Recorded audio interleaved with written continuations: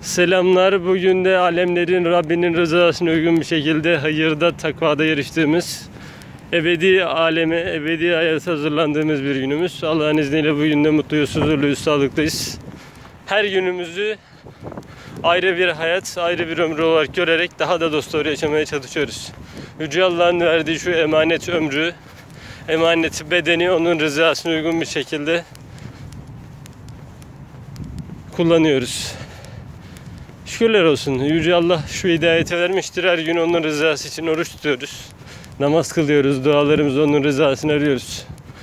Her gün Yüce Allah'ın rızasına uygun işleri yapmadığınız anda o gün sizin için bir vebaldir. Bir kayıptır. İnsanlar farz olan ibadetleri yapmadığı anda yaşadım demesinler. Çünkü günah biriktirdikleri insan olma vasıflarını kaybedip şeytanın yardımcıları olduğu bir düzen haline gelmiştir. Allah korusun bunlardan olmayın.